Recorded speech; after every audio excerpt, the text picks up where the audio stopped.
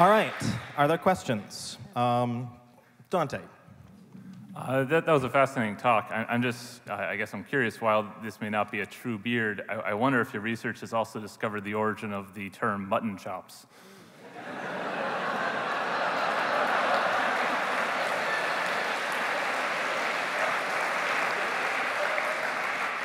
Take into account the fact that facial hair isn't the only inexplicable patch of hair that we have, including back hair and hair on our palms.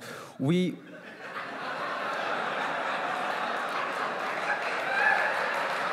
we,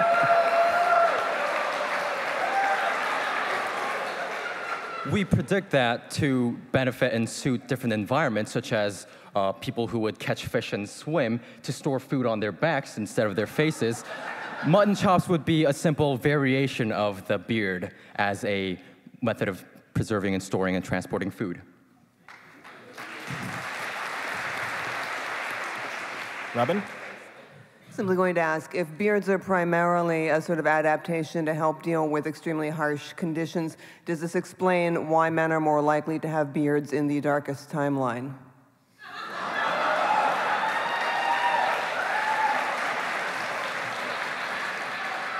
As I, as I mentioned in the last slide, we are expecting that with the rise of um, rise of foreboding signs of apocalypse, such as epidemics and financial, financial crises, there will be a resurgence of beards, men growing out their beards, as a subconscious response. I noticed that you're clean shaven.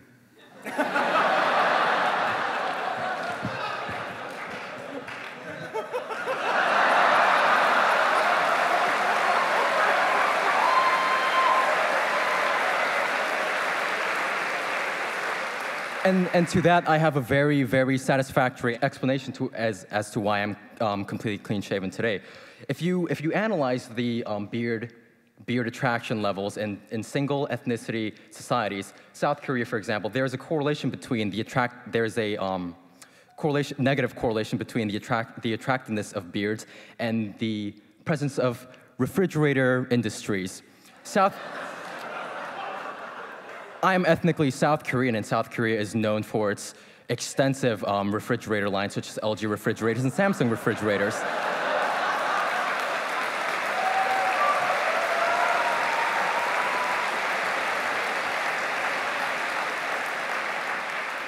Thus, it would be unnecessary for me to grow out a beard as we have the technology necessary to store our food.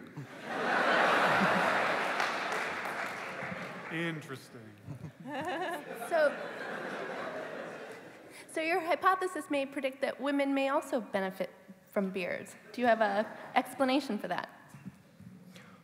Well, this, the uh, studies conducted prove that women aren't necessarily attracted to beards, but simply from the presence of a luscious flank of zebra would have probably attracted a female, and especially with the impending doom that we are expecting, women will once again, against their wishes, be attracted to the mere presence of food, especially hazelnut spread.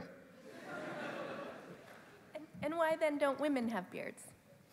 Well, because beards are a simple byproduct of testosterone, and because women generally do not produce as much testosterone as men, we, that's, that's why we think women don't have as much beards, even though they would benefit from them. However, from seeing the immense popularity popularity that uh, bearded ladies have been gathering as, as singers, we, we, pres we presume that these we presume that these few individual, few individual women who do have beards probably served a significant role in uh, ancient history, such as Queen Nefertiti of ancient Egypt, who is, who is, who is depicted in ancient Egyptian art with a beard. All right, thank you so very much, Kevin Yu Sing Jung.